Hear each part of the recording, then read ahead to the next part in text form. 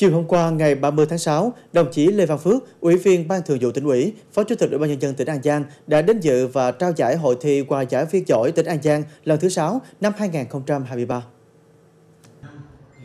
Tham dự hội thi, các đội dự thi trải qua 3 phần thi, phần thi tự giới thiệu. Trong 7 phút, các đội trình bày bằng hình thức sân khấu hóa, hò, dè, hát, diễn tiểu phẩm. Nội dung giới thiệu sơ lược về thành phần đội dự thi, những đóng góp của quà giải viên, tổ quà giải, mục đích, ý nghĩa của hoạt động hòa giải ở cơ sở trên địa bàn cấp xã, cấp huyện. Phần thi xử lý tình huống, mỗi đội dự thi bốc thăm chọn một tình huống pháp luật, mỗi đội cử một thí sinh đưa ra cách giải quyết bằng hình thức trả lời trực tiếp, tối đa 8 phút trên sân khấu. Phần thi kỹ năng hòa giải, các đội dự thi từ xây dựng và biểu diễn tiểu phẩm tối đa 10 phút về một vụ việc tranh chấp thực tế và tiến hành hòa giải vụ việc đó theo hướng thấu tình đạt lý và đúng pháp luật.